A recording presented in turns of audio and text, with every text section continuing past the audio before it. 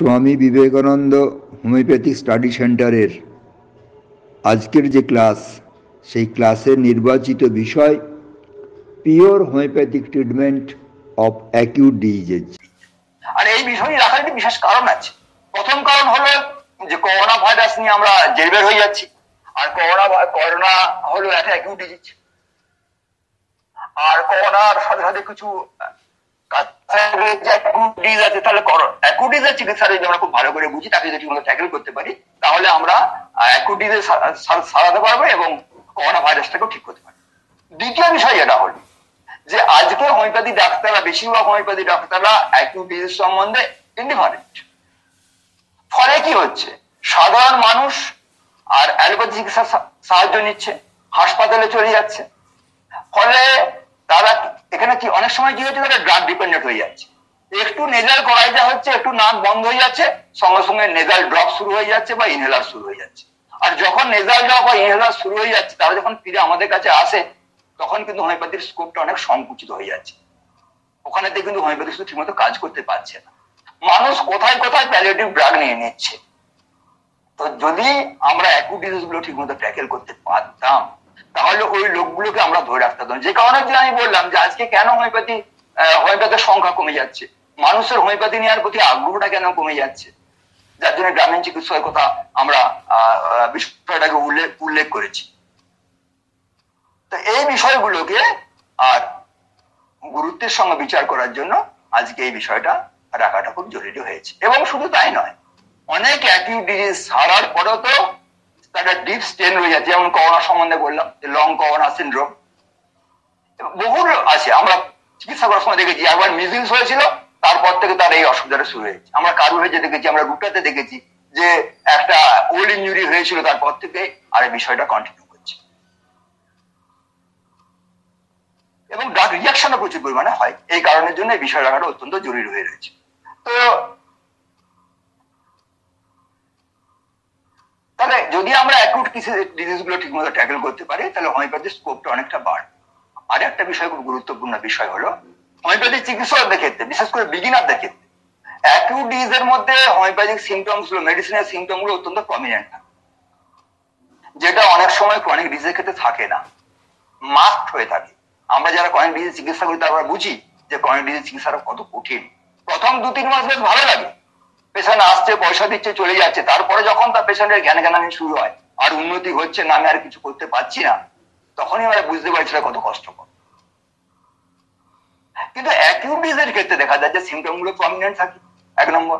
দু নম্বর কথা হলো যে এখনই আপনার সফলতা, বিফলতা মানে রেজাল্ট বেরিয়ে যাবে। আজকে ওষুধ দিয়ে আপনি বুঝতে পারবেন যে আপনি সাকসেসফুল ডাক্তার কি সাকসেসফুল ডাক্তার নয়। এবং কোন কোন সিমটমগুলোর ভিত্তি করে আর ওষুধ দিলে আর সেটা সারে। ফলে কি হবে? যে ড্রাগের যে কিউরেটিভ অ্যাসপেক্ট সে সম্বন্ধে একটা ক্লিয়ার কনসেপশন তৈরি হবে। এবং এবং এই হোমিওপ্যাথি চিকিৎসকের যে বিকাশ, তার ক্রমবিবর্তনের সবচেয়ে বড় বড় স্টেপগুলো হলো সাকসেসফুল অ্যাকিউটিজের ট্রিটমেন্ট এবং আর একটা খুব গুরুত্বপূর্ণ বিষয়, যেটা রোবার্টস বলেছেন খুব করে, যে অ্যাকিউট ডিজিজ চলে যাওয়ার পরে কনিক সিমটমসগুলো প্রমিনেন্ট হয় যদি একটা অ্যাকিউট ডিজিজকে খুব successfully homeopathic treatment pure homeopathic treatment দিয়ে যদি ট্যাকেল করা যায়, তাহলে দেখা যাবে তারপরেতেই ক্রনিক ডিজিজ সিমটমসগুলো খুব প্রমিনেন্ট হয়ে যাবে, তখন ক্রনিক ডিজিজ চিকিৎসা করাটাও সুবিধা হয়ে যাবে। আবার এও আমি দেখেছি আমি একটা কেস ছোট একটা কেস বললে আপনি বুঝতে পারবেন যে একজন অ্যালোপ্যাথি ডাক্তারের স্ত্রী আমার কাছে চিকিৎসা জন্য এসছেন, তার প্রাইমারি ইনফার্টিলিটি রয়েছে, তার আরও অন্যান্য কনস্টিটিউশনাল সিমটম রয়েছে এক মাস কি দু মাস চিকিৎসা হয়েছে, তারপর তার একটা ক্রাইসিস হয়ে গেল হয়ে গেল, তখন তিনি আমার কাছে এলেন। আসার পর আমি তাকে তার সিমটম অনুসারে দিলাম। এবং পিকুলার জিনিস, তার তো তার তো সেরে গেল। আর মাসেতে তিনি পিরিয়ড মিস করলেন। যে ক্রনিক ডিজিজের সাথে অ্যাকুট অ্যাকুট ডিজিজগুলো ক্রনিক ওষুধের সাথে অ্যাকুট ডিজিজের যে একটা যুগলবন্দি থাকে অনেক সময় সেটাও একটা খুব গুরুত্বপূর্ণ বিষয় যারা অ্যাকুট ডিজিজ খুব সাকসেসফুল ট্রিটমেন্ট করেন, তারা এটা বুঝতে পারেন তো আজকের এই বিষয়তে আমি যে রেখেছি যে treatment pure homeopathic treatment of acute disease pure homeopathic কেন পিওর হোমিওপ্যাথিক ট্রিটমেন্ট কথাটা লিখলাম কেন? আমি তো লিখতে পারতাম যে homeopathic treatment of acute disease এর একটা কারণ আছে। আমরা যারা হোমিওপ্যাথি চিকিৎসা মানে চিকিৎসা দিই, সাধারণ জনগণের কাছে তার কিছু রং ইনফরমেশন বা রং সিগন্যাল থাকে। অনেকে হোমিওপ্যাথি প্যারিডি প্যারোডি করেন। বাই নেম হোমিওপ্যাথি হোমিওপ্যাথি লেখা আছে হোমিওপ্যাথিক মেডিসিন সাধারণ লোক ভাবতে আমি হোমিওপ্যাথি ওষুধ খাচ্ছি কিন্তু সেটা আদৌ হোমিওপ্যাথিক ওষুধ নয়। মানে প্রিন্সিপালের দিক থেকে প্রয়োগের দিক থেকে হোমিওপ্যাথি যে কারণ সিদ্ধ করতে পারে সেই সিদ্ধটা করে না। হ্যাঁ, অনেক পেশেন্ট বলে যে আমি তো বাপি কাপ খাই। কেন এটা খান? না, এটা তো হোমিওপ্যাথিক ওষুধ। লেখা আছে হোমিওপ্যাথিক ওষুধ। হোমিওপ্যাথিক ওষুধ অন্য কিনে নিয়ে এসছে এরকম ধরনের কত রকমের ফর্মুলা আছে এসবিএল এর বা অন্যান্য জায়গাতে, সেগুলো আপনারা জানেন। যে অ্যালোপ্যাথি ওরিয়েন্টেড বাইরে হোমিওপ্যাথি নামেতে ওষুধ ব্যবহার করা হয়। সেটাতে কিন্তু হোমিওপ্যাথির যে মাধুর্য হোমিওপ্যাথির যে বিশিষ্টতা, সেটা কিন্তু হবে না। দ্বিতীয় আর একটা শ্রেণির ডাক্তার আছেন, যারা হোমিওপ্যাথি ওষুধ ব্যবহার করেন। পোটেন্টালি ওষুধ ব্যবহার করেন হোমিওপ্যাথির ওষুধের বাস করতে গিয়ে ওষুধ ব্যবহার করেন। কিন্তু তারাও অনেক সময় রুটিন প্রেসক্রিপশন করে থাকে জ্বর হলে বেলোডোনা দেন ঘন্টায় ঘন্টায়, অথবা ইকোনাইট দেন অথবা ফেরাম্বোস দেন, বাঁধা ভরা কতগুলো ওষুধ ব্যবহার করেন। তো এই সমস্ত বিষয়টাতে কিন্তু হোমিওপ্যাথি চিকিৎসা করলে যে বেনিফিট হোমিওপ্যাথি চিকিৎসা করলে যে কেস সিম্পল হয়ে যাওয়া হোমিওপ্যাথি চিকিৎসা করলে যে তার প্রকোপটা দিনের দিন কমে যাওয়া, এইগুলো কিন্তু হবে না। যেটাতে হবে সেটা হলো যে হোমিওপ্যাথির যে সমস্ত নিয়ম নিষ্ঠা আছে, সমস্ত নিয়ম নিষ্ঠাকে ঠিক মতো যদি মেনটেন করে চিকিৎসা করা যায়, তবেই কিন্তু আর এই সমস্ত rapid gentle permanent removal and annihilation of the disease in কোলেস্টেন এটা হবে তা নাহলে কিন্তু হবে সেই জন্য আজকে এই ক্যাপশনটা রাখা হয়েছে। তো একই ডিজিজ সম্বন্ধে আমাদের সবার ধারণা আছে। সাধারণ মানুষেরও ধারণা আছেন সাধারণ মানুষ অবশ্য ক্রনিক ডিজিজ সহজে বোঝে। যে ক্রনিক ডিজিজ মানে দীর্ঘকাল ধরে যে সমস্যাটা চলছে, অনেকে এই কথাটা বোঝে। অ্যাকিউট ডিজিজ সম্বন্ধে হয়তো অনেকে বুঝতে পারে না। কিন্তু হ্যানিম্যান তার খুব স্ট্রিক্ট ডেফিনেশন দিয়েছে যে যে রোগটা আর সম্প্রতি শুরু হয়েছে। সে একটা মোডারেট পিরিয়ডের কোর্স ফিনিশ করবে। করে টার্মিনেট আইদার ডেথ অর রিকো হয় রোগটা সেরে যাবে অথবা লোকটি মারা যাবে। আর হোমিওপ্যাথি চিকিৎসকের দায়িত্ব হবে যে ওই তার প্রগ্রেসটাকে আটকে দিয়া অ্যাব্রোগেট করা এবং অ্যানিলেট করা এবং তার মৃত্যুকে রদ রদ করার জন্য প্রচেষ্টা করা। তো এই কারণটার জন্য এই এই কেসগুলোতে আমরা কীভাবে আগাবো সেজন্য হ্যানিম্যান এই অ্যাকিউডিজটা ক্লাসিফিকেশন করেছেন। এবং এই ক্লাসিফিকেশনটা অনবদ্য ক্লাসিফিকেশন এটা কিন্তু ক্লিনিক্যাল ক্লাসিফিকেশন এটা কিন্তু থিওরিটিক্যাল ক্লাসিফিকেশন নয়। Useful to the physician in assisting him to cure আরোগ্যের জন্য এই ক্লাসিফিকেশন তিনি তিনটে ভাগে ভাগ করলেন অ্যাকিউট ডিজিজকে একটা হলো ইন্ডিভিজুয়াল অ্যাকিউট ডিজিজ আর একটা হলো স্পোরাডিক অ্যাকিউট ডিজিজ আর একটা হলো এপিডেমিক অ্যাকিউট ডিজিজ এবং এর প্ল্যানটা কি? না প্ল্যানটা হলো কতজন লোক সাফারার এবং তার কারণটা কি? এর ভিত্তি করে তিনি ক্লাসিফিকেশন করেছেন। তো প্রথম যেটা হচ্ছে ইন্ডিভিজুয়াল অ্যাকিউট ডিজিজ সেটা দেখে একজন লোকই মাত্র। ইন্ডিভিজুয়াল পার্সনই অ্যাফেক্টেড এবং তার কারণটা আমি পরে আসব, কারণ ওই আজকে মূল বিষয়টা হলো ওইখানে। সেজন্য আমি ইন্ডিভিজুয়াল অ্যাকিউট ডিজিজ বেশি করে বলব আজকে, সেজন্য আমি পরে আসব।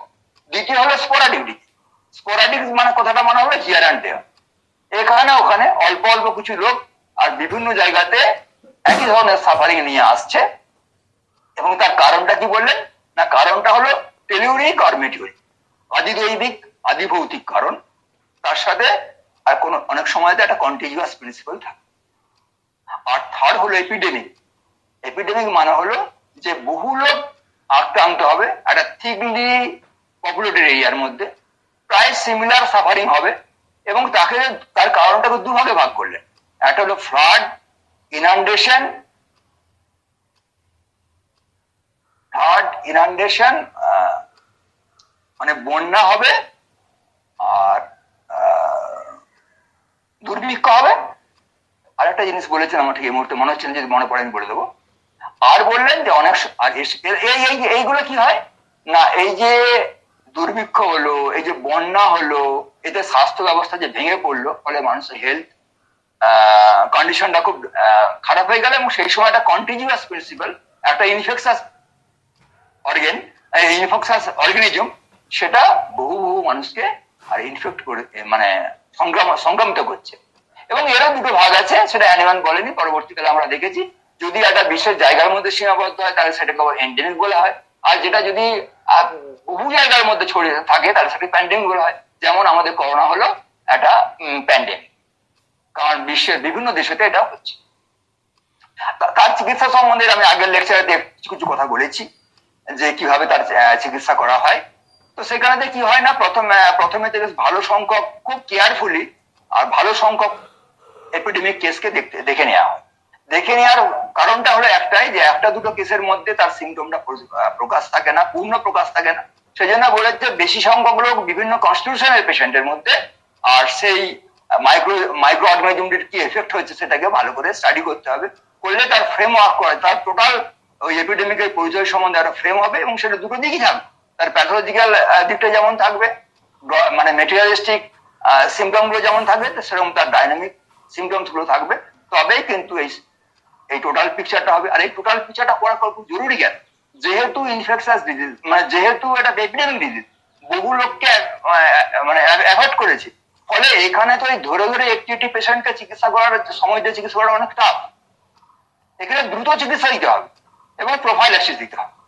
ফলে যদি আমি আর দশটা কেস কেস দেখার পরে আমার যেটা জেনারেল কনসেপশন হয়ে যায়, আমি যেমন গতবারে বলছিলাম যে কি কি ওষুধ লাগবে সেই জেনারেল কনসেপশনটা যদি হয়ে যায়, তাহলে সেই পেশেন্ট দেখে দু চারটে সিমটম দেখেই মানে ক্যারেক্টার সিমটমস দু চারটে দেখেই আমি সহজে সেই ওষুধটা দিয়ে দিতে পারব এবং এটা খুব ইজি হয়ে যাবে এবং তার প্রোফাইল অ্যাক্সেসও দিতে পারব। তো ইন্ডিভিজুয়াল একটা ডিজিজ যে কথাটা যেটা আজকে আমাদের আলোচনার মুখ্য বিষয় সে ইন্ডিভিজুয়াল অ্যাকিউট ডিজিজ যেটা হলো সে ইন্ডিভিজুয়াল অ্যাকিউট ডিজিজ হলো যে ইন্ডিভিজুয়াল পার্সন একজন মাত্র মানুষ, একটা বিশেষ রোগীতে অসুস্থ। এবং সে অসুস্থতাটা কি? সেই অসুস্থতা কি? না একটা মডারেট পিরিয়ড অল্প সময়ের জন্য। তার সাত বিগিনিং আছে। আর তার ডেফিনেট এন্ডিং আছে। ক্রনিক রিজের বিগিনিংটা ইনসিডিয়াস বুঝতে পারা যায় এবং তার এন্ড যে কখন হবে? সেটাও ঠিক নাই। সেটা জীবন আমৃত্যু চলবে যদি না হোমিওপ্যাথিক অ্যান্টিডোট দেওয়া হয়। আর এটা স্পন্টিনিয়াসলি চলে যেতে পারে। তো এই অ্যাকিউট ডিজিজগুলো কেন হয়? সে সম্বন্ধে হ্যানিম্যান দুটি ভাগে দুটি কথা বলেছেন। একটি কথা বলেছেন যে মানুষ যদি আর স্বাস্থ্য সংরক্ষণ বিধি মেনে না চলে, অথবা মানুষের শরীরের মধ্যে যে তিনটি দৈত্য বাসা বেঁধে আছে সরা শিকুলির সাইকোসিস তারা যে যে কারণেতে উত্তেজিত হতে পারে, সেই উত্তেজক কারণগুলি, উত্তেজক ঘটনাগুলি আর মানুষ যদি গ্রহণ করে, তাহলেই কিন্তু অ্যাকিউটিস হওয়ার সম্ভাবনাটা বাড়ে। যদি ওভার ইটিং করে, যদি ওভার এক্সারসাইজ করে, যদি ইঞ্জুরি হয়, যদি ডিসিপেশন হয় মানে লাম্পটটা করে এবং বিভিন্ন বিষয় ওখানে উনি উল্লেখ করেছেন, যা দিয়ে আমরা বুঝতে পারি যে আর আমাদের যে অন্তর্নিহিত যে কর্নিক মায়াজম রয়েছে কর্নিক মায়াজমটি যে দৈত্যরা ঘুমোচ্ছিল, সেটা জাগরিত হবে। সেজন্য অ্যানিম্যান বলেছেন যে এক্সপ্রেশন অফ লেটেন্ট সোরা আমরা লেটেন্ট সোরা বলি না, আমরা বলি এখানে অ্যানিম্যান সোরাকে একটা ব্রড টার্ম ব্যবহার করেছেন। মানে মায়াজম বলতেই ব্যবহার করেছেন। তো আমরা দেখব যে বিভিন্ন জীবন পদ্ধতির বিভিন্ন ব্যবিচারের জন্য সরাসিপিলের সাইকোসিস যেটা ঘুমন্ত ছিল, সেই ঘুমন্ত সরাসিপিলের সাইকোসিস জাগরিত হবে এবং জাগরিত হয়ে যাওয়ার পর অ্যাক্টিভিটিস তৈরি হয়ে যাবে। তো এর দুটো বিষয় আছে, আর একটা কথা বিষয়। সেই বিষয়টা হলো যে আমরা অ্যাকুটিসকে ইন্ডিভিজুয়াল অ্যাকুটিসকে আমরা আর দুভাগে ভাগ করতে পারি। একটা হলো যে mimicking sickness due to trifle error in diet and regimen যাকে আমরা ইনডিসপোজিশন বলি, যে অল্প কিছু অনিয়ম করেছে একটু বেশি খেলাধুলা করে ফেলেছে, তার জন্য গায়ে হাতে ব্যথা হয়ে গেছে। একটু বেশি খেয়ে ফেলেছে, পেটটা একটু অস্বস্তি তৈরি করে ফেলেছে। সেটা ওষুধ না দিলেও এমনিতে কমে যেতে পারে। একটু বিশ্রাম দিলে ডায়েটটা কন্ট্রোল করে দিলে কমে যেতে পারে। এগুলোকে ইনডিসপোজিশন বলে। আর কতগুলো জিনিস আছে যে পুরো সিস্টেমটাকে ব্রেক করেছে, পুরো অনেক সিমটম ডেভেলপ করেছে, এগুলো হলো ট্রু অ্যাকিউটি তো আমার চিকিৎসার জন্য আরেকটু ভাগ করবে অ্যাকুটিজিসকে একটা হলো আনকমপ্লিকেটেড অ্যাকুটিজিস যেখানে কোনো ওষুধ পড়েনি এবং সিমটমসগুলো বেশ প্রমিনেন্ট আছে। দ্বিতীয় হলো কমপ্লিকেটেড অ্যাকুটি সে অ্যালোপ্যাথি চিকিৎসা করা হোক আর রং হোমিওপ্যাথি চিকিৎসা করার পরেই হোক সেটা কেসটা দিনের দিন বেড়ে যাচ্ছে বা মানে লাভ হচ্ছে না। আর থার্ড যেটা হলো, সেটা হচ্ছে যে ক্রনিক মাগম অবস্ট্রাক্টেড অ্যাকুটিস মানে যে সমস্ত অ্যাকিউট ডিজিজ পিছনে ক্রনিক মাঝম থাকার জন্য আর অ্যাকিউট ডিজিজটা সারতে পারছে না। তো এই যে অ্যাকিউট ডিজিজ এই অ্যাকিউট ডিজিজ চিকিৎসা করতে গেলে আমাদের যে যে কাজগুলো করতে হবে, প্রথমেই ঠিক করে নিতে হবে। যে বলছিলাম যে প্রথম টার্গেটটা কি হবে? একটা জ্বর এলে কি এবং জ্বরটা কমাতে হবে? না অন্য কিছু কমাতে হবে? তো বেশিরভাগ ক্ষেত্রে জ্বরকে টার্গেট করেন। একটা ডায়রিয়া এলে ডায়রিয়াকে টার্গেট করেন। সেই জন্য স্পেসিফিক ওষুধগুলো ব্যবহার করার চেষ্টা করেন। তাহলে কি জ্বর কমাতে হবে না? না, অবশ্যই কমাতে সেজন্য হ্যানিমান শুরু করলেন যে what is to be cure in রোগীদের কি সারতে হবে? জ্বর। যেমন মানে রোগের জ্বরের সাথে সাথে তার যে সমস্ত ফাইনাল সিমটমস গুলি থাকে, অর্থাৎ জ্বর হলে যদি আমরা প্যাথোজেন ভাইরাস দিয়ে যদি ধরি ভাইরাসের প্রকোপের জন্য ভাইরাসের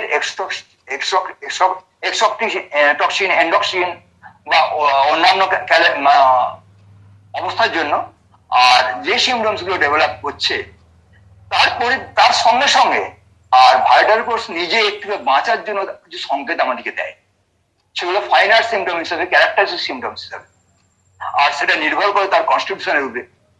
তো সেই সিমটমস গুলোকে যদি ধরা হয়, তবেই কিন্তু ওই জ্বরটা সারবে, না হলে জ্বরটা সারবে। তাহলে এখানে একটা সমন্বিত বিষয় আছে। যেমন কেন বলেছেন যে we treat the patient not only the disease কিন্তু কাঞ্জাল এটা টিপ্পণী করেছে। কাঞ্জাল বলছেন কোথাও এর মধ্যে স্লোগান দিলে হবে না।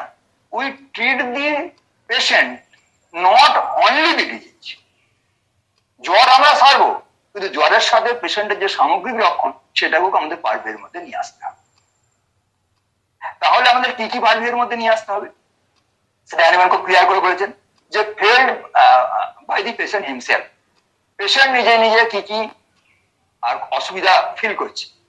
নাম্বার টু হলো remarked by remarked by those around him তার গার্জেনরা তার অ্যাটেন্ডেন্সরা তার সম্বন্ধে কি কি বলছে? তার কি কি অসুবিধার কথা বলছে? আর থার্ড হলো যে বাই দি মানে observe by the physician himself physician নিজে কি পর্যবেক্ষণ করছেন। এই তিনটে জিনিসকে নিতে হবে। তাহলে আর অ্যাকিউট ডিজিজের পিকচারটা তৈরি হবে রোগীলিপিটা তৈরি হবে। রোগীলিপিটা তৈরি হলে তবে তো আমি আর সিমিলিমাম সিলেকশন করতে পারব। হ্যানিমান তার সঙ্গে আরেকটু জিনিস অ্যাড করলেন। বললেন, দেখো, এটা করলেও শুধু কিন্তু হবে না। তিনি বললেন what are the things that derange health and cause disease সেটা জানতে হবে। চার নম্বরে বললেন, পাঁচ নম্বরে তার অ্যাপ্লিকেশনটা বললেন। বললেন useful to the physician in assisting to cure R the most probable exciting causes in acute acute ডিজিজের probable exciting কজটাকে জানতে হবে। তা না হলে কিন্তু অনেক সময়তে চিকিৎসাটা করা সম্ভব হবে না। আর একটা তিনি বললেন, সেটা হচ্ছে কনস্টিটিউশন অফ দি কেস কোন কেসে কোন ওষুধটা ভালো কাজ করবে? এই যে এই যে এই যে দুটো জিনিস এলো, আপনার এক্সাইটিং কজ এবং কনস্টিটিউশন এটা কিন্তু ক্রিটিক্যাল এটা কিন্তু প্রুফিং এর সময় পাওয়া যায়নি। এটা ক্রিটিক্যাল ইনপুট এইগুলোকে সামগ্রিকভাবে অ্যাড করতে হবে। অ্যাড করলে তবেই মানে সারা যাবে না সারা যাবে। কনস্টিটিউশন কেমন? আমি ছোট একটা দুটো উদাহরণ দিলে বুঝতে পারবেন আমরা যে দেখুন কোন পেশেন্টের মধ্যে নার্সমিকার লক্ষণ পাওয়া যাবে? বা কোন পেশেন্টের নার্সমিকা দিলে সেটা এফেক্টিভ হবে? সে যদি ডিপোজারি পেশেন্ট হয়, সে যদি নাইট ওয়াচিং করে, সে যদি লিকার অ্যাডিক্টেড হয়, সে যদি ইন্টেলিজেন্ট হয়, সে যদি খুব অ্যাংরি হয়, একটা গুড নেচার পেশেন্ট নার্সমিকা হবে হবে না। ঠিক অপোজিট হবে পালসিমিলা সেকেন্ডে এফেক্টিভ হবে। যদি পেশেন্টটা ব্যাসফুল হয়, যদি পেশেন্টটা টিমিড হয় যদি পেশেন্টটা সেন্সিটিভ হয়, যদি পেশেন্টটা খুব গুড নেচার হয় ব্যাড নেচার পেশেন্টেতে এটা এফেক্টিভ হবে না। তাহলে কারণ, অবস্থা এবং তার লক্ষণগুলি, সবগুলিকে নিয়ে একত্রিত করে যে রোগীলিপি প্রস্তুত হবে, যে এন্টিটি তৈরি হবে, আর তার ভিত্তিতে ওষুধটা নির্বাচন করতে হবে। আর এই যে লক্ষণ সংগ্রহ, এই লক্ষণ সংগ্রহটা কিন্তু ফর্ম ফিল নয়। একদমই নয়। এটা খুব মানে কুশলী ব্যাপার। এবং এটা শুরু হয় কবে থেকে? কখন থেকে? না, যখন আপনাকে কল দিতে এসছে, সেই কল দেওয়ার সময় থেকে শুরু হবে। অ্যাটেন্ডেন্স এসে এমন কিছু তথ্য দিয়ে দিলেন, সেটা শুনেই আমরা ওষুধ হয়ে যেতে পারি। যে পেশেন্ট কালকে রাত্রেবেলা আর মাংস খেয়েছিল, পায়েস খেয়েছিল, আর তারপরে সারাদিন ধরে খুব ছটফট করে, সারা রাত ধরে খুব ছটফট করছে, বারবার ধরে অস্থির হয়ে যাচ্ছে, আমাকে বলছে, কেউ ডাক্তার ডেকে নিয়ে এসো। আমি একটা পেশেন্ট আমি দেখেছি বলে ঘটনাটা বললাম, ডাক্তার ডেকে নিয়ে এসো। আর বারবার বাথরুমে যাচ্ছে, আর বারবার বেঁধে ফিরে আসছে। বলছে, না, পায়খানা খুব একটা হচ্ছে না যদি একটু পায়খানা হচ্ছে একটু আরাম হয়ে যাচ্ছে। তো এই সিমটমসগুলো দেখে আপনার কি নার্স নেওয়ার কথা শুনেই মনে হয়ে যাবে না? আপনি গিয়ে একটুখানি ভালো করে কনফার্মেশন করে নিলে খুব ইজি হয়ে যাবে। সেজন্য একজন হোমিওপ্যাথি ডাক্তারকে খুব সেন্সিটিভ হতে হবে, খুব সার্কামস্পেক্টিভ হতে হবে। একটা পেশেন্টের বাড়িতে কলে গেলেন পেশেন্টটা কেমন করে শুয়ে আছে? কেমন অবস্থাতে রয়েছে? তার ঘরের দরজামালা কেমন রয়েছে? তার বিছানার জিনিসপত্রগুলো কেমন রয়েছে? এই সমস্ত বিষয়গুলো থেকে কিন্তু ইনফরমেশন আসতে হবে। সেই জন্য অ্যানিম্যান বলছেন যে অ্যাকুটিসের চিকিৎসাটা সুবিধা হলো যে বেশি ইঞ্জিনিয়ার যেতে হবে না। এটা সিমটম খুব সুপারফিশিয়াল থাকে। শুধু একটু অ্যাটেন্টিভ অবজারভার হয়ে গেলে কিন্তু এই সিমটমস গুলোকে আর সহজে ধরে ফেলা যাবে। নিয়ে নেওয়া যাবে। তখন বয়স কম ছিল। আর ফলে সমস্ত অ্যাকিউট ডিজিজ সমস্ত অ্যাকিউট ডিজিজ এবং এমার্জেন্সি কেস আর ট্যাকেল করতে করতাম। চব্বিশ ঘণ্টা যখন পাওয়া দরকার তখনই পাওয়া যাবে আমার।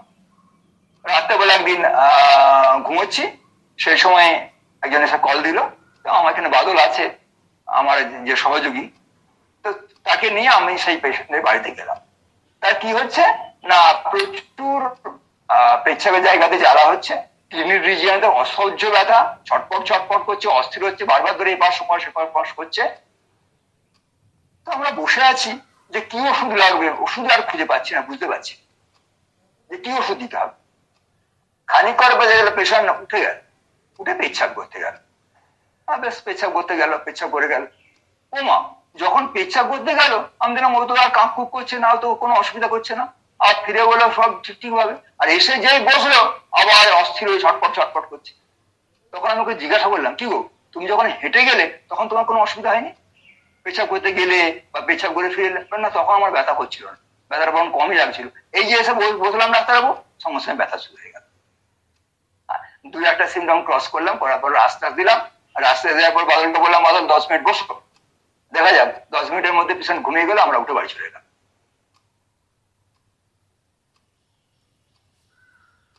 আর একটা পেশেন্ট আমার মনে আছে। একজন হোমিওপ্যাথি মানে স্টুডেন্ট তাকে দেখতে গেছি। আর দেখতে গিয়ে কি দেখছি? না, সে চুপচাপ শুয়ে আছে। চুপচাপ। হাত পা নড়ছে না, কোনো কথা বলছে না। তার পাশে তার অন্যান্য আত্মীয়রা কথাবার্তা বলছে, কিন্তু সে কোনো পার্টিসিপেট করছে না। আমি যে তার গার্জেনের সাথে কথা বলছি, সেখানেও সে পার্টিসিপেট করছে তো কিন্তু তাকে যখন জিজ্ঞাসা করছি আমি তার কষ্ট সম্বন্ধে, তখন কিন্তু সে সঠিক উত্তরটা দিচ্ছে দিয়ে আবার চুপ করে যাচ্ছে। তো এই জায়গাটা কিন্তু খুব খেয়াল করতে হবে। এটা হলো ফসফরিক লক্ষণ। যে পেশেন্টটা লগের মতন পড়ে থাকে। আর কাঠ যেমন পড়ে থাকে, সেরকম কাঠের মধ্যে পড়ে থাকে।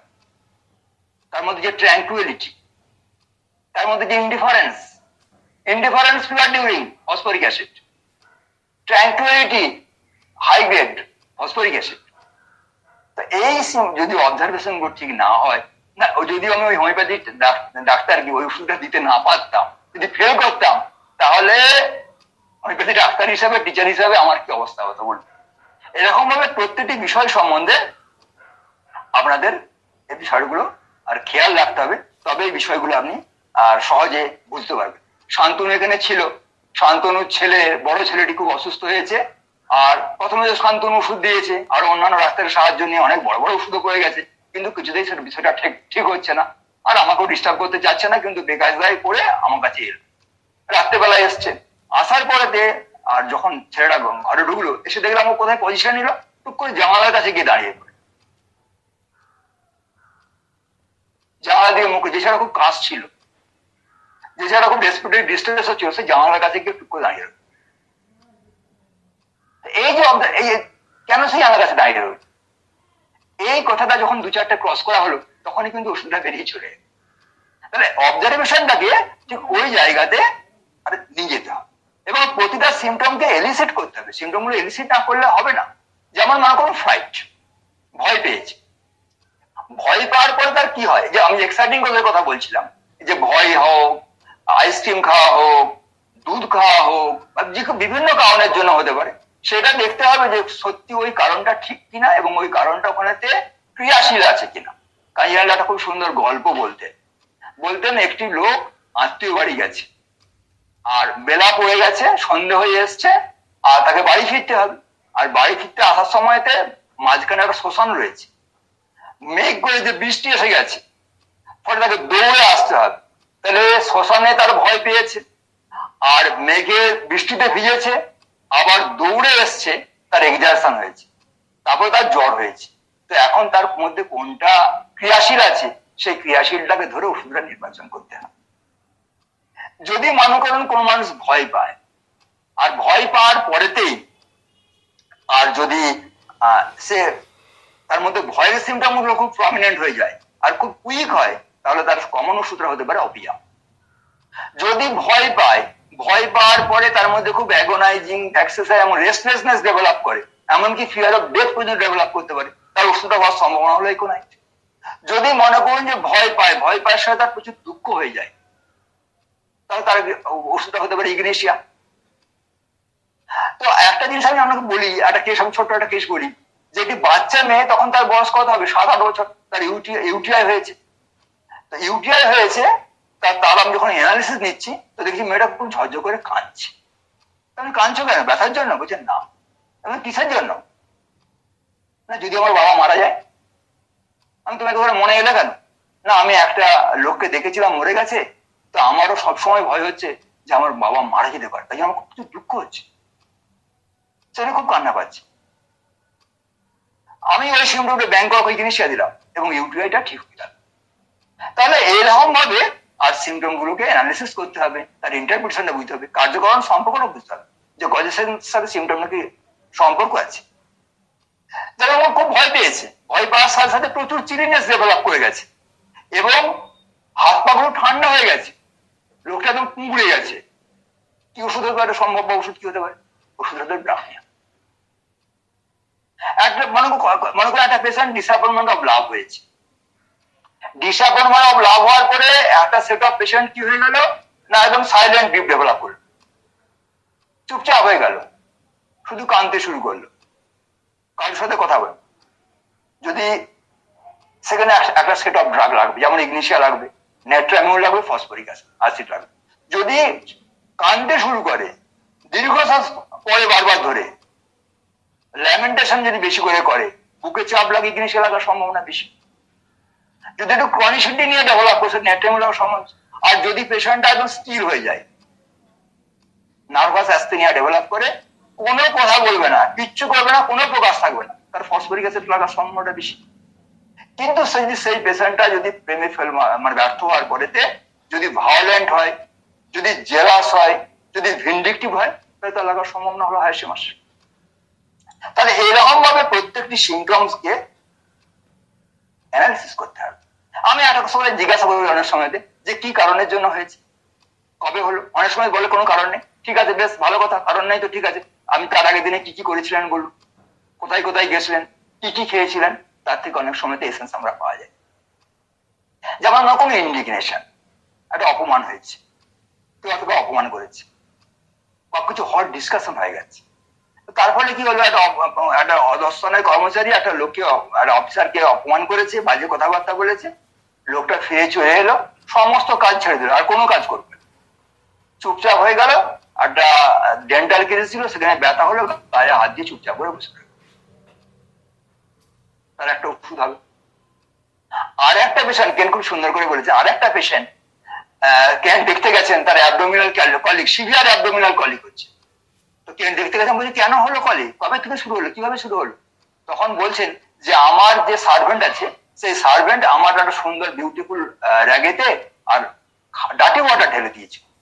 তার সাথে কিছু হট ডিসকাশন হয়েছিল and colic is the result প্রথমটা হলো স্ট্যাপিস্যাগ্রিয়া আর দ্বিতীয়টা হলো কলুষিত এইরকম ভাবে আর প্রতিটা সিমটমের ইন্টারপ্রিট করতে হবে রাইট ইন্টারপ্রিটেশন করতে হবে, তবে ওষুধগুলো ঠিকঠাক মতো হয়ে যাবে। এরপরেতে যে কাজটা করতে হবে, সেই কাজটা হলো যে এই যে এক্সাইটিং কজ নিলাম জেনারেল কনস্টিটিউশন নিলাম, এর সাথে সাথে এই কাজ করতে গেলে কিছু কিছু ওষুধের আর স্পেসিফিক প্যাথোলজি গুলোকে জানতে হবে। স্পেসিফিক প্যাথোলজি গুলোকে যদি আমরা না জানতে পারি, তাহলে কিন্তু হবে না। খুব tactfully easy acute disease treatment করা যাবে। যেমন মনে করুন কয়েকটা ওষুধের উদাহরণ দিলে অ্যালো মানে কি? অ্যালো হলে তার ইনসিকিউরিটি অফ দিস ফিলিংটা থাকবে। এটা না থাকলে হবে না। এবং তার এক্সপ্রেশনটা কি হবে? Involuntary stool during passing flatus আর ইউরিনেশন যদি চায়না হতে হয় তাকে টিম্প্যানিক অ্যাবডোমেন হতেই হবে। ইরাকটেশন ডাজন রিলিফ থাকতে হবে। এবং সেখানেতে ওয়াটার স্টুল এবং আনডাইজেস্টেড ফুড পার্টিকেলস থাকতে হবে।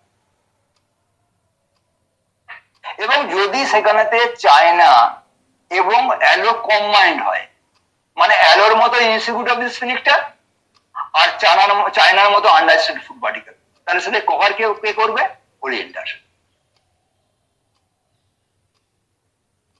সেরকম ভাবে মনে যদি কোঠনটিক হতে হয়। তাহলে কোঠনটিকের গান শট একদম হাঁসের পায়খানা যেমন হয় পিচকড়ি দিয়ে পায়খানা হতে যদি ম্যাকগার্ভ হতে হয় তাহলে এই স্পেসিফিক সিমটমসগুলো সম্বন্ধে মেডিকাতে খুব দক্ষতা লাগে যদি ম্যাকগার্ভ হতে হয়, তাহলে কিন্তু সেটা সাওয়ার স্টুল হতে হবে। এবং সেটা ফক্সকাম বলে একটা কথা আছে ম্যাথমেটিকাতে যে যারা পুকুর দেখেছেন, পুকুরে দেখবেন যে ব্যাং থাকলে, ব্যাঙের থুতু আর সবজাব আকার ধারণ করে পুকুরে জলটা ভাসতে থাকে। এরকম ধরনের বিষয় থাকতে হবে। যদি সিনার পেশেন্ট হয়, তাকে অবশ্যই ডায়রিয়া উইথ এক্সেস থাকতে হবে এবং তার সাথে জ্ঞানঘানি থাকতে হবে। যদি কোলোসেন্টের পেশেন্ট হয়, তাহলে তার প্রেসিপিটেড কজ একটা অ্যাঙ্গার থাকতে হবে, ডায়রিয়া ডিউ টু অ্যাঙ্গার তার সাথে কলিটি হতে হবে। তা নাহলে বিষয়গুলো হবে এরকম ফিভারের ক্ষেত্রেও অজস্র সিমটম রয়েছে। যেমন আমরা খুব ছোট করে আমি উদাহরণ দিই, সময় তো প্রায় শেষ হয়ে এসছে। সেটা হচ্ছে fever with long chain short heat শ্বাসলেস ওষুধের আগে পাল্টে দিলাম আর যদি দেখা যায় যে শর্ট চিন লং হিট শ্বাসলেস ওষুধটা হবে ইপিকা আর এর সাথে সাথে খুব ক্লিনিক্যাল এক্সপিরিয়েন্স রাখতে হবে রেপার্টারিতে খুব ওরিয়েন্টেড থাকতে হবে। যে অনেক সময় দেখি আমার কাছে অনেক কেস আসে টাইফয়েড কেস আসে। অনেক সময় অনেক ম্যালেরিয়া আসে, সেগুলো ভুল চিকিৎসার জন্য সেটা মাস্ট হয়ে গেছে। মানে মুখোশ পড়ে গেছে, তার ওষুধগুলো খুঁজে পাওয়া যায় না। সেই সম্বন্ধে অনেক সময় হিন্ট আছে যদি অ্যারোমেটিক ড্রাগস দেওয়া হয় মানে অ্যালোপ্যাথিক ড্রাগস দেওয়া হয়, সেখানে নাকসমিক আঠারো দুটো ডোজ দিয়ে সেটা গোপন করতে হতে পারে। যদি পোটেন্টাইল ওষুধ দিয়ে অ্যাকুট কেসটা নষ্ট হয়ে গিয়ে থাকে, তাহলে সেখানে সিপিআই মতো ওষুধ রাখতে পারে। যেমন যদি ম্যালেরিয়া খুব চাপা পড়ে যায়। তাহলে সেখানে যেমন ইপিকার পথে গিয়ে দেখবেন অ্যালেন বলেছেন ডাম্বিক তো যেখানে ম্যালেরিয়া মাস্ক হয়ে যায়, সেখানে সাধারণত আর্সেনিক, টিউবারকুলাম, সিপিয়া ইপিকাকে সমস্ত ওষুধগুলো লাগে। এই যে আমি একটা কেস আমার মনে আছে আর একটা জিনিস জানতে হবে, সেটা হলো যে অ্যাকুট কেস চিকিৎসা করার সময়তে পলিপ্রেস ড্রাগগুলো ডিফেক্টিং ড্রাগগুলো যে অ্যাকুট ফেজগুলো তৈরি হয়, সেটাও কিন্তু জানতে হবে। অনেক সময় দেখা যাবে যে একটা অ্যাকুট ওষুধ মানে একটা কনিক ওষুধকে অ্যাকুট ওষুধের মতন কাজ করাতে হয়, করতে হয়, এবং লাগে তা নাহলে কেসটা সারে না। আমার একটা ম্যালেরিয়া কেস মনে রয়েছে আমার আত্মীয় আমি সেই ম্যালেরিয়া কেসটা দেখতে গেছি। তো নানান সিমটম দেখছি, দেখতে দেখতে আমার দুটো জিনিস মনে হলো একটা জিনিস হলো যে আনকভার্ড পার্টে খুব প্রচুর ঘাম হচ্ছে। আর একটা আমি জিজ্ঞাসা করলাম যে আপনার এই যে শীত করে জ্বরটা আসছে, শীতটা কোথার থেকে শুরু হয়? ভেরি ইম্পর্টেন্ট উনি বললেন যে আমার থাই থেকে শুরু। আর banking on this two symptoms আমি ওকে থুজা দিলাম। এবং থুজা ম্যালেরিয়াটা সারিয়ে দিল তো সেই জন্য ম্যালেরিয়া চিকিৎসা করতে গিয়ে আর চিলিনেসটা চিলিনেসটা কোথা থেকে শুরু হয়? সেটা ব্যাক থেকে হয়, না সেটা নেক থেকে হয়, না সেটা স্যাগ্রাম থেকে হয়, না সেটা অ্যাঙ্কেল থেকে হয়। রেপার্টার একদম পরপর পরপর ওষুধ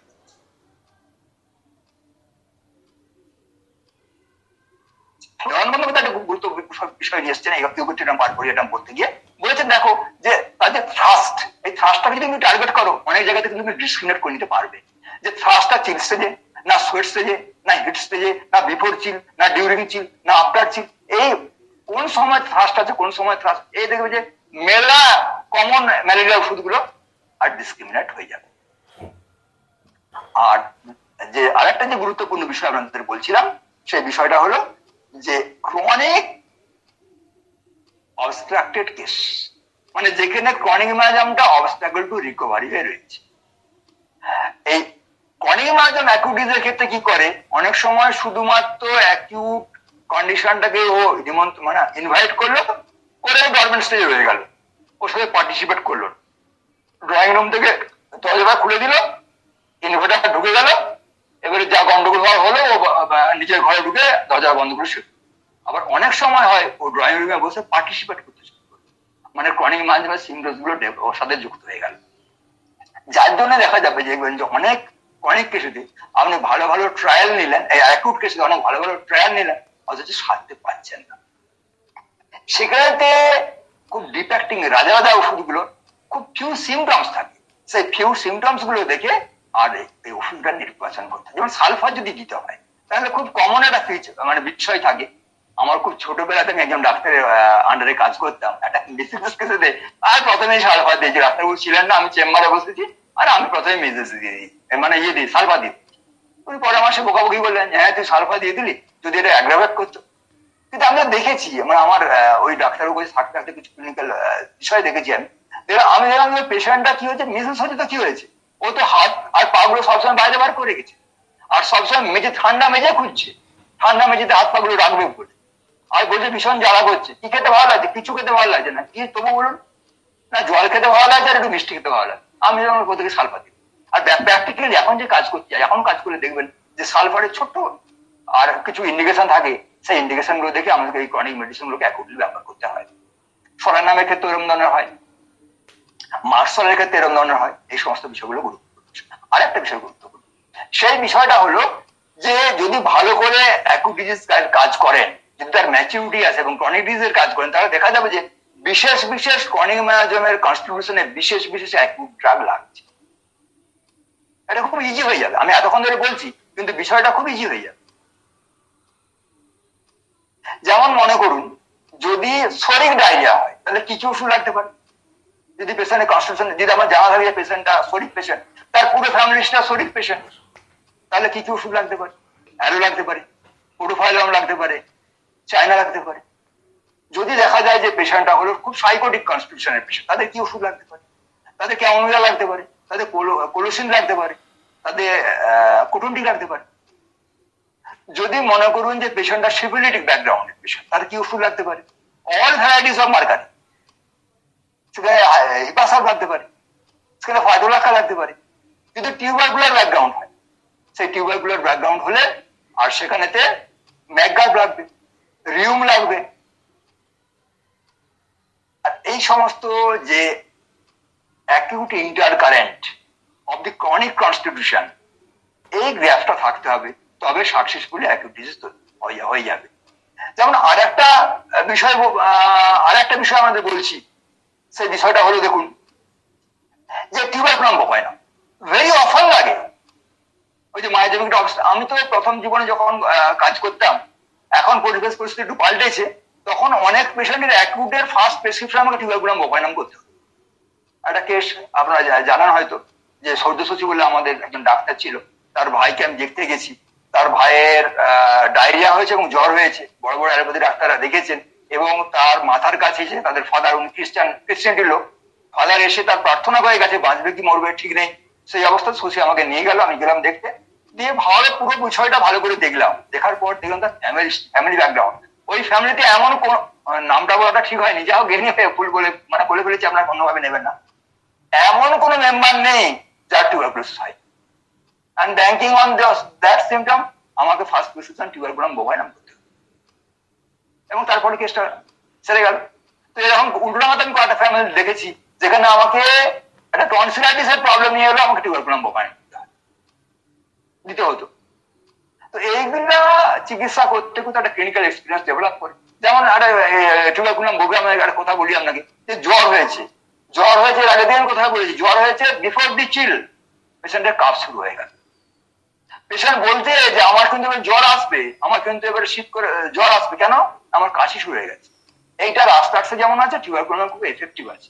এবং তার সঙ্গে টিউবারকুলামের একটা কাশির একটা গুরুত্বপূর্ণ বিষয় আছে, যে যদি ওপেনার রাইডিং করে পেন্ট বলেছেন, যে একটা ঘোড়া নিয়ে আর মাঠের মধ্যে ঘুরছে to get relief from the cough এই সমস্ত বিষয়গুলো মায়াজোমেটিক তার যে সিঙ্কনি মায়াজোমেটিক যে coherence with the acute symptoms এবং এক একটা এবং এবং যদি সাকসেসফুলি আপনি এর আগে দিয়ে আমি রোবটের কথা বলেছি, যদি ক্রনিক ডিজিজ চিকিৎসাতেও যদি অ্যাকিউট ডিজিজ যখন হবে, সে অ্যাকিউট ডিজিজটা যদি সাকসেসফুলি যদি আপনি চিকিৎসা না করতে পারেন, তাহলে ক্রনিক ডিজিজ চিকিৎসাটাকেও আপনার খুব স্মুথলি হবে।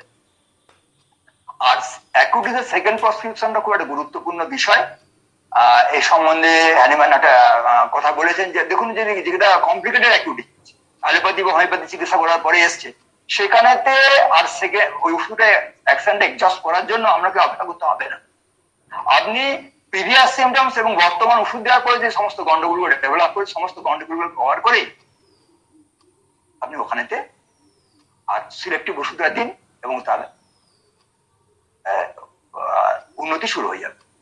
এবং আমি একটা আর্টিকেল লিখেছিলাম আর সেই আর্টিকেল দেখতে পারে যে সেকেন্ড প্রেসক্রিপশন ইনঅ্যাক্টিভ অনেক সময় দেখা যায় যে অ্যাকুট ডিজিজে আর সেকেন্ড প্রেসক্রিপশন করতে হয়, আর পাট পাট পাট পাট করে।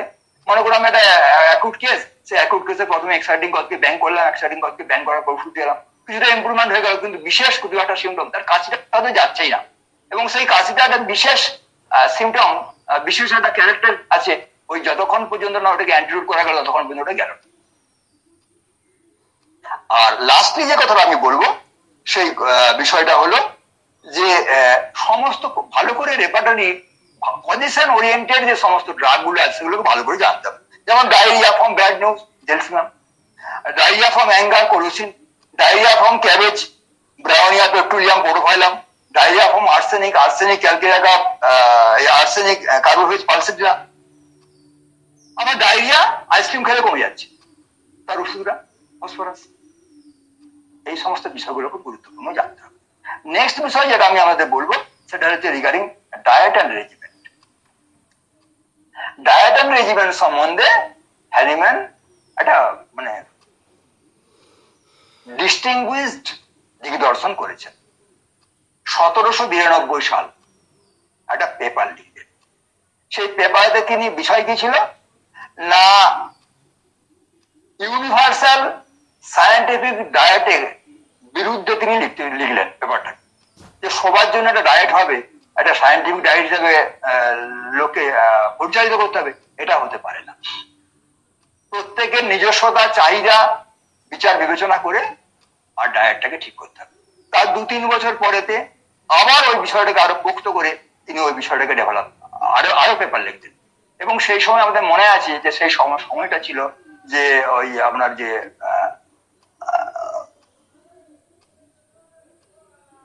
আপনার সিডেনহামের যে যেন? স্কারলেট ফিভার স্কারলেট ফিভারের চিকিৎসা তিনি করছিলেন। তার প্রোফাইলাক্সিস ঠিক করছিলেন তার ডায়েট সম্বন্ধে উনি তার অনবদ্য যে নিজস্বতা, সেটা প্রকাশ করেছিলেন। তো কেন করেছিলেন?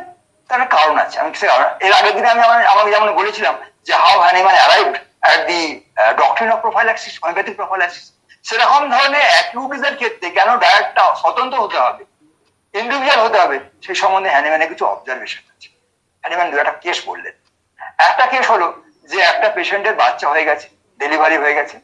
ডেলিভারি হয়ে যাওয়ার পরেতে চিকিৎসাধীনে আছে। তো তাকে যাতে তার সমস্ত মানে ইঞ্জুরি গুলো আর শুকিয়ে যায়, কোনো সমস্যা নয় সেটা তাকে শুধুমাত্র বাগলি আর জল আর হালকা কিছু খাবারের মধ্যে রাখা কিন্তু যত দিন যাচ্ছে তত পেশেন্টটা সিঙ্ক করে যাচ্ছে। সে বারবার ধরে চাচ্ছে যে আমাকে অন্তত একটু ব্রথ ওদের ওখানকার যে থাকে ব্রথ স্যুপ এসব অ্যালাউ করা হবে না, একদম হবে না।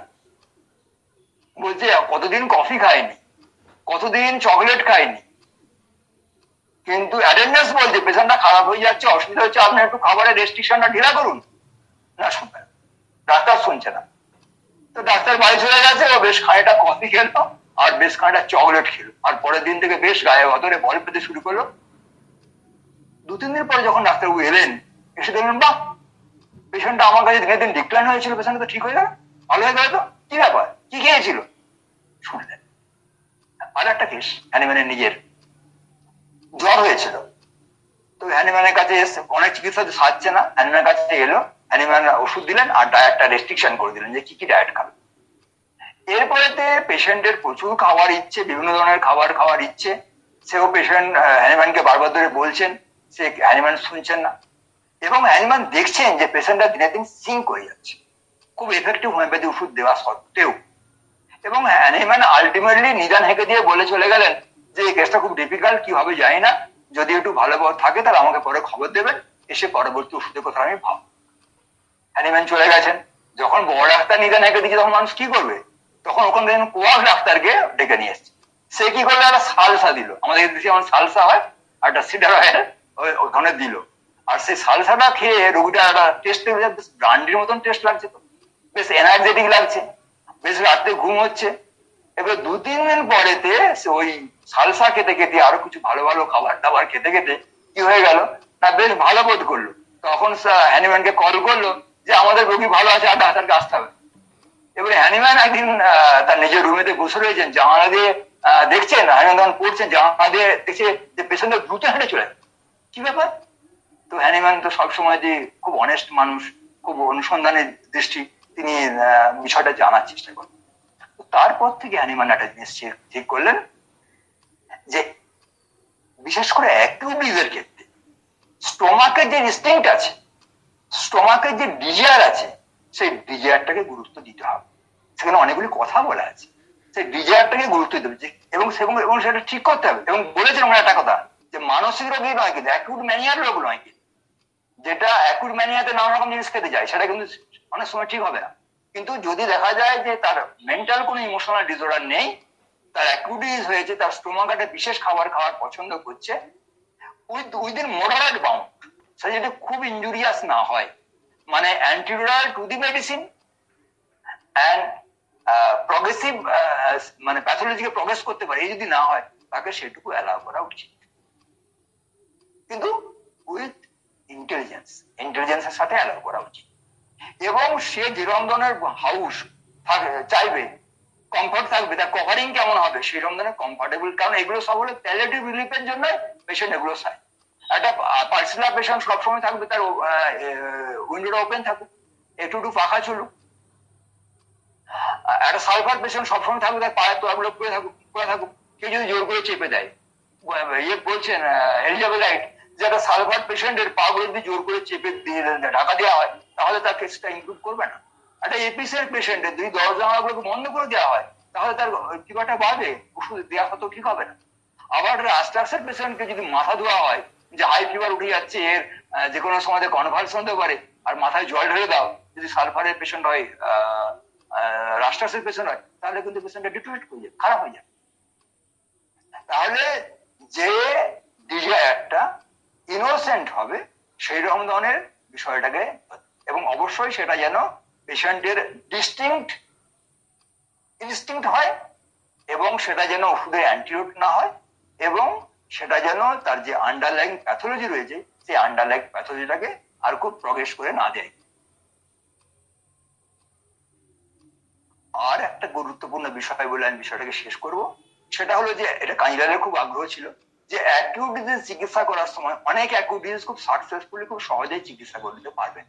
কিন্তু অনেক অ্যাকিউট ডিজিজ আছে একটু কঠিন কঠিন মানে এই কারণের জন্য তার যে মাইক্রোবস থাকে, সেই মাইক্রোবসটা এত বেশি প্যাথোজেনিক হয় এত বেশি টক্সিক ফিচার ডেভেলপ করে, অনেক সময় ক্যারেক্টারিস্টিক সিমটমসগুলো খুব ভালো করে প্রকাশ পায় না বা প্রকাশ পেলেও আর ওষুধের কাজ করতে অনেক সময় অনেক অসুবিধা হয়। তো সেই সমস্ত কেসগুলোকে এক্সপোজ করতে হবে। এক্সপোজ না করলে কিন্তু আর অসুবিধা হবে। মানে ল্যাবরেটরি ইনভেস্টিগেশন করে নিয়ে যেটা আমি বিজ্ঞানের কথা বলছিলাম, যে ল্যাবরেটরি ইনভেস্টিগেশন করে নিয়ে আর কোনো কোনো সময়তে আর গার্জেনদের কাছে বিষয়টাকে রাখতে হবে। এটা আবার কুশলের সাথে রাখতে হবে। কোন কোন পেশেন্ট গার্জেনের কাছে এটা প্রকাশ করা চলবে না। করলে আপনি খুব, আর সহজে চিকিৎসাটা স্মুথলি করতে পারবেন। আবার কোন কোন ক্ষেত্রে এটা না করলে অসুবিধা হবে। তো এলিজাবেথের একটা খুব সুন্দর কেস বলছে। একটা পেশেন্ট এসছে, তার মাংস হয়েছে। মাংস হয়েছে তার পেশেন্টটার তো এলিজাবেথের তার ওষুধ দিচ্ছে। ওষুধ দেওয়ার ফলে কি হচ্ছে? ওষুধ দিয়েছেন। ওষুধ দেওয়ার কিছুদিন পরেতে আর তাড়াতাড়ি উন্নতি হচ্ছে না। তখন আরেকজন ডাক্তারকে ডাকা হলো। ডাক্তার এসে দেখে বললেন যে টিউবারকুলোসিস হয়েছে। টিউবারকুলার গ্ল্যানাইট ফলে তারা আর এলিজাবেথ রাইটকে ছেড়ে দিচ্ছে এবং এলিজাবেথের বদনাম হলো যে এলিজাবেথ রাইট কেসটা বুঝতে পারেন। বুঝতে না পারে এলিজাবেথ বলছে, দেখুন, আমার প্রেসক্রিপশনটা দেখুন। আমি কিন্তু টিউবারকুলাম বোভাই নামে দিয়েছি। আমি কিন্তু জানি এটা টিউবারকুলার জ্ঞান এবং সেই অনুসারে আমি ওষুধটা দিয়েছি। কিন্তু যেহেতু আমি কেসটা এক্সপোজ করলাম, যেহেতু আমি কেসটা বললাম, বুঝিয়ে দিলাম ফলে কি হয়ে গেল? না, হয়তো খুব বদনাম হয়ে গেল। চিকিৎসকের বদনাম হয় তাহলে এই সমস্ত বিষয়গুলোকে মাথায় রেখে আর খুব সাকসেসফুলি চিকিৎসাগুলোকে করতে হবে। এবং নিজের যদি লিমিটেশন হয়, নিজের যদি ফেলিওর হয়, নিজে যদি কিছু না করতে পারেন কেসটা নিজের হাতে নষ্ট করে দেবেন না। তো সময় অতিক্রান্ত হয়ে গেছে। এই আপনাদের সকলকে কৃতজ্ঞতা এবং আন্তরিক শুভেচ্ছা জানাই।